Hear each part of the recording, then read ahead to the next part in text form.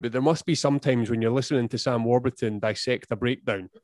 And Yeah. you just you just realize, oh shit, I'm supposed to be I'm next year. You know, you're actually you're in the room, you're supposed to speak, but you, you're around these sort of legends of the game.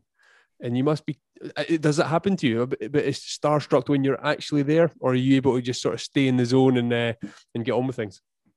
You know, I, I don't know if I've ever been properly starstruck um, because you're you're focusing on your job, but there are definite pinch yourself moments where, you know, like before a actually I've been down to Wales quite a lot recently, but the, before a Scarlet Scarlet Sale, um, the Champions Cup last year, and it was like Sam was there, uh, Shane Williams was there, and Chris Ashton was there.